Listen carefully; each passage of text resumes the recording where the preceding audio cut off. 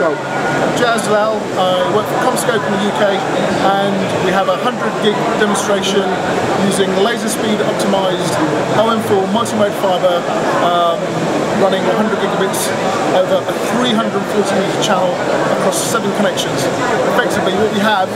is two reels of 150 meters of cable, we have two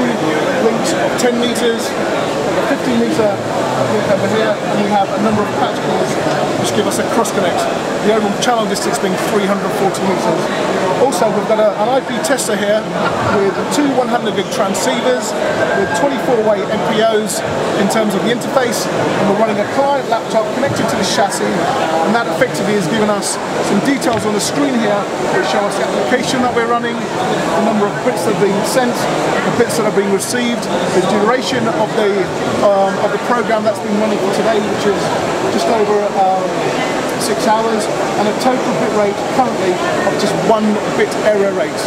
and that's over six just over six hours.